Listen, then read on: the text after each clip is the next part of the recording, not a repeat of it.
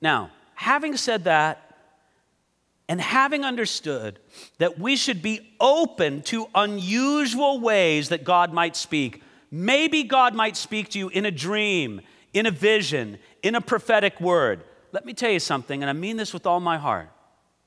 You should not look to God to speak to you through a dream, a vision, or a prophetic word. When you want to look for God to speak to you, wouldn't it be great if God spoke to you and wrote it down in a book that we could all read?